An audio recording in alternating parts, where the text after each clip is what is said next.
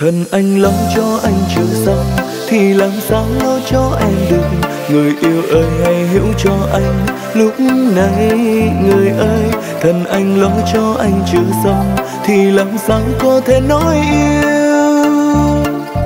Dù lòng anh yêu em rất nhiều, giá như tương lai anh vững vàng giá như trong tay anh có tình để có thể lo lắng cho em, tốt hơn người ta. Vì anh thấy biết bao người khác, họ đã đến với nhau quá vội.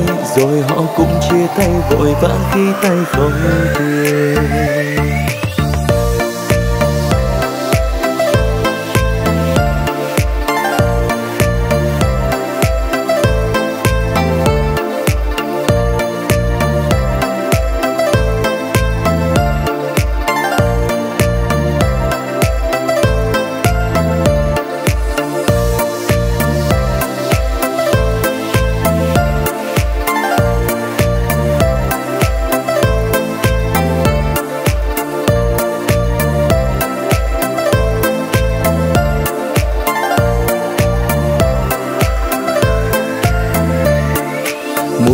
lời yêu em và muốn suốt đời bên em.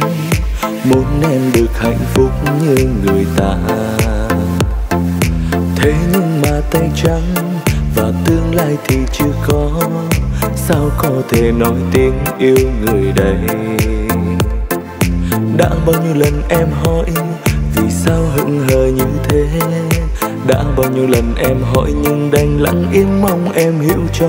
Thân anh lo cho anh chưa làm sao lo cho em được. Người yêu ơi, hãy hiểu cho anh. Lúc này, người ơi thân anh lo cho anh chưa xong thì làm sao có thể nói yêu.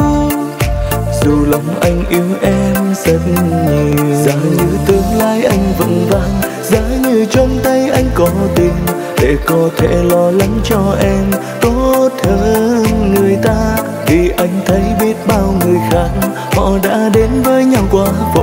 Rồi họ cũng chia tay vội vã khi tay không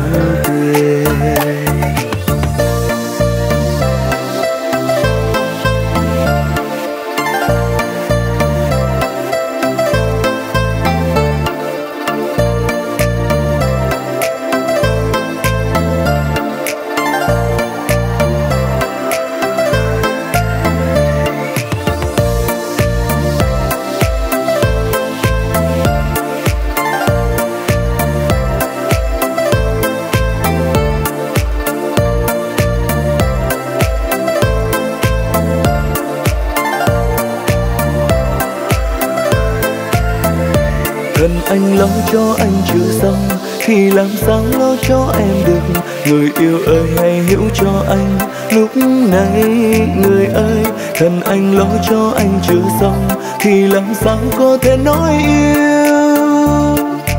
Dù lòng anh yêu em rất nhiều, giá như tương lai anh vững vàng giá như trong tay anh có tình để có thể lo lắng cho em tốt hơn người ta vì anh thấy biết bao người khác, họ đã đến với nhau quá vội, rồi họ cũng chia tay vội vã khi tay không tiền